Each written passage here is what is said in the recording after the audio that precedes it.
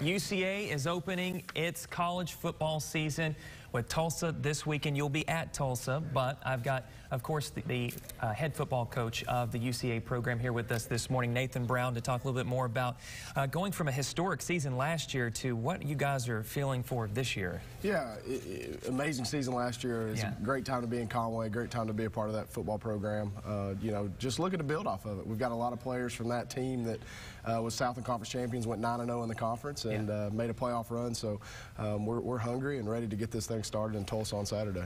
Yeah, and you said the Southland Conference, which you guys are in, you're ranked number one mm -hmm. to mm-hmm. start the seasons. How does that feel? Well, it, it, it's it, you have a bullseye on your back, right. you know, and that, there's something to be said about you know guys. You're always going to get somebody's best shot, and, and uh, our guys are prepared for that. That's what we've been practicing for for the, really the last three weeks, and uh, you know it's an opportunity that you you come to UCA for because we're traditionally we're a really good program. So mm -hmm. uh, when you get recruited to play football at UCA, you you know you're going to be a part of some big games, and, and this is going to be no different this year.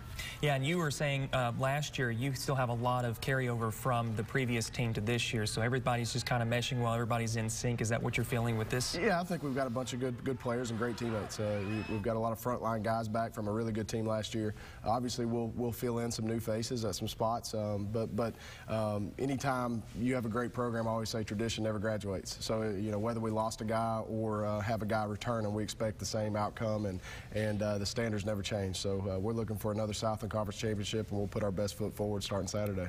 Awesome. Now, it is going to be on ESPN3, mm -hmm. correct? All right, so you have to make sure you've got an account. Borrow somebody's account if you want to, to yeah. watch the game. It's going to be on at 6 o'clock, yes. correct? Yes.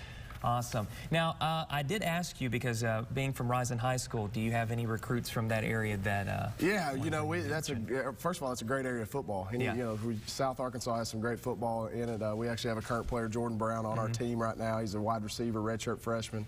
Um, but but there's all you know uh, always great, great kids coming out of that program, and and uh, really that area, region of Arkansas. It's just really right. good football. So we recruit we recruit down there hard, and always seem to get a couple guys out of that area. Awesome.